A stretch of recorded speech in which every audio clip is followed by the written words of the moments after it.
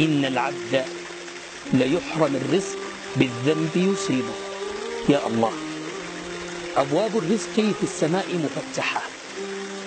تجد أن الله جل وعلا يرزقك العافية من باب وباب يرزقك فيه الرزق وباب يرزقك فيه المال يرزقك فيه الصحة يرزقك فيه الهداية يرزقك فيه بر الأولاد بر البنات بر الأبناء. يرزقك فيه صلة الأرحام. باب يرزقك فيه التوبة. باب يرزقك فيه الهداية. باب يرزقك فيه البركة. وهلم جراء فتصيب الذنب الواحد. ذنب أنت تراه صغيرا جدا. ولكن هذا الذنب أغلق عليك هذا الباب الآن. وتصيب ذنبا آخر فيغلق عليك بابا آخر وهلم جراء أيها الأحبة إننا نعبد ربا اسمه التواب التواب الرحيم الغافر الغفور الغفار جل جلاله وتقدست أسماؤه.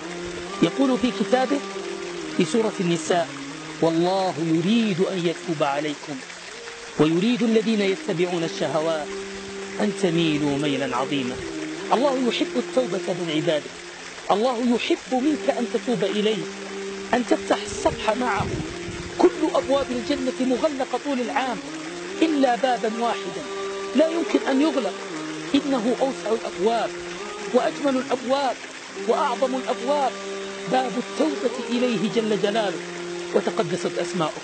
التوبة وما أدراك ما التوبة. حياء عاصم وبكاء دائم. ندم على ما فات واستقبال لما هو آت. خلع ثياب الجفا.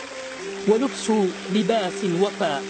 التوبة إلى الله هي الأمر الذي يحبه الله. ينادي ينادي ينادي عباده فيقول وإني لغفار لمن تاب وآمن وعمل صالحا. ثم اهتدى. يا الله في سورة النساء يفتح بابا للرجاء عظيم. لك ولك ولي وللناس أجمعين. لكل من يسمع هذا المقطع الصغير. أقول له يقول الله ومن يعمل سوءا أو يظلم نفسه ثم يستغفر الله ثم يستغفر الله يجد الله غفورا رحيما. يا الله إنه الله إنه الله. من الذي يقبل التوبة؟ الله. ينادي في أعظم آية عند أكثر أهل العلم. من آيات الرجاء أعظم آية الرجاء. في فتح باب التوبة. إياك إياك إياك وإياك إياك أن تظني أو تظن أن الله لا يغفر لك. لا مهما بلغت ذنوبك مهما بلغت سيئاتك الله غفور الله غفار الله غفور الله غفور.